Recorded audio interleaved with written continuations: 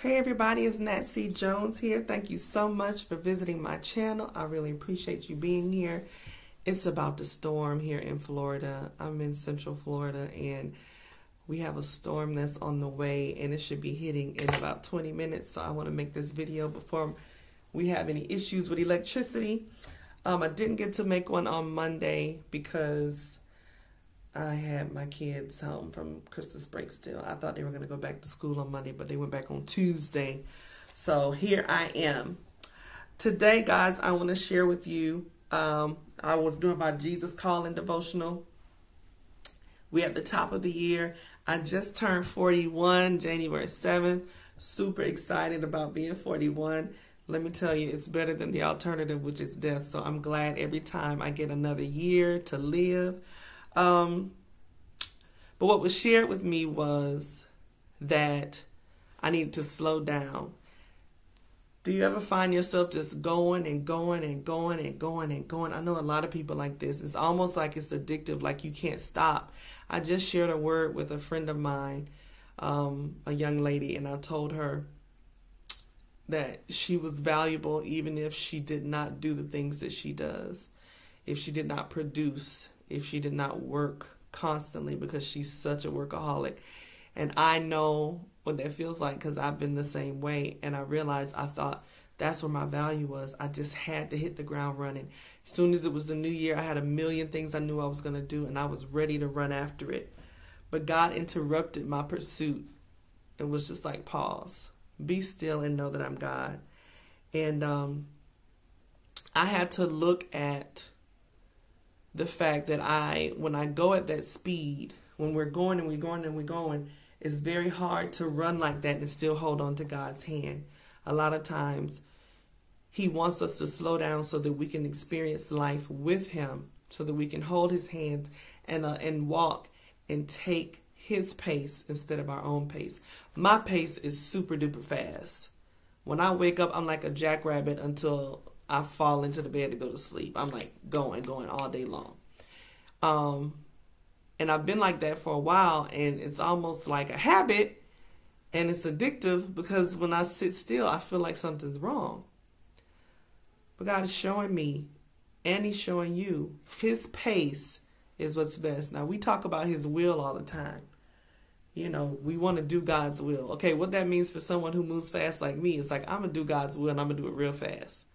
But you know what's also in his will? His timing is a part of his will. His pace is a part of his will. If it's his will for you to get somewhere in two months, but you want to get there in two weeks, so you run and you stand in front of that door after two weeks, you're going to have to stand there for another six weeks because it's not opening until two months when he said it was going to open. You cannot rush God. It's best to just hold his hand and accept his pace because the truth is, it's him that's making everything good happen in your life anyway, not you. I know we feel good about the decisions we make. We feel good when we feel like we've accomplished something. But at the end of the day, if you're his child and your hand is in his hand and your life is in his hands, then everything good that happens in your life and even the bad that turns out good is happening because of him. So when you submit yourself to his pace, what you're really saying is, I know I can't rush this because it's really not me that's making this happen. So then I asked God, I said, okay, well, how am I supposed to look at this? Because I know I'm supposed to do something. I don't want to go too fast, but then I don't want to get complacent. Like, help me. And you know what he said? Hold my hand and take it step by step with me. But just remember, as you're moving with me, remember, it's really me that's making it happen, not you. So I got it. It hit my mind, the perfect analogy. I remember when I was a little girl, and I don't know how many of you have experienced this with parents or grandparents, where you wanted to drive. You could be like six or seven years old, five or six years old, and you sit in. I used to sit in my dad's lap. He would. I would say, "Dad, I want to drive." He would let me sit in his lap. His foot was pressing the pedal, but my hands were on the steering wheel, and I was steering the car, and I felt like I was driving. I really felt like I was driving. But what I didn't know is the whole time, the reason that we did not get in the accident is because this was back in the day. When people used to do crazy stuff. The kids used to be on the back of pickup trucks. It was real. It was a lot more chill back in the 90s. My father was holding the bottom of the steering wheel the whole time. I just didn't realize it was really him that was steering the whole time. I just had my hands on the wheel. And the wheel was moving. Now that I think about it, the wheel was moving whether I moved it or not. Because my father was steering the wheel. Not only was he steering the wheel, but he was the only one that could reach the gas pedal. He was the only one that could reach the brake. He was still in control. I just felt like I was in control. I felt like I was driving, and it made me feel good.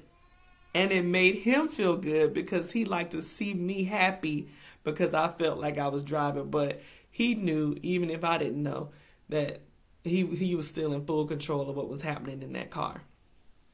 That's what it's like. You know, people say Jesus take the wheel. He already has the wheel. You just need to realize that Jesus has the wheel.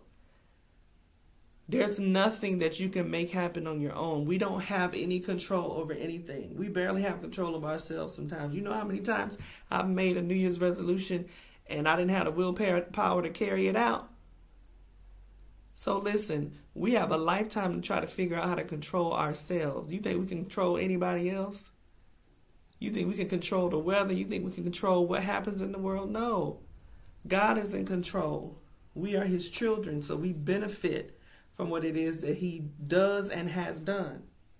So, anything that happens in your life, any success, anything that seems like it's a tragedy, understand that God is in control.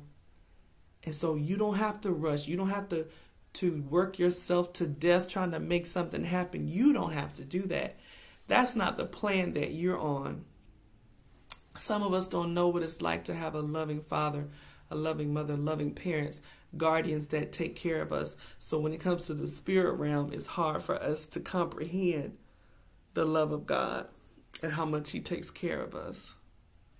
But it's Him that opens the doors of opportunity, it's Him that closes the doors to keep us from harm.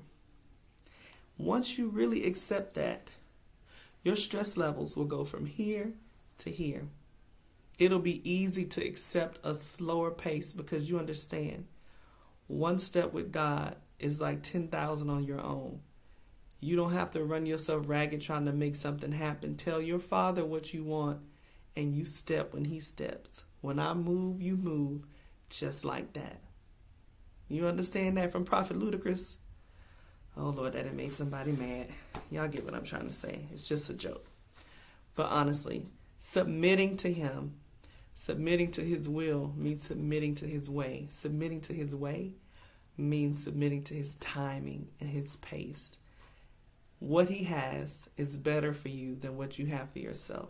His pace is better than your pace. His place is better than your place. Everything that God has is better than anything that you could do for yourself. So just give it all to him. God, I give you my efforts. I give you my energy. I give you my pace. I give you my ideas. All of these things that I put on a pedestal, these things were really what I believed was making things work for me. But it wasn't that. It was you the whole time.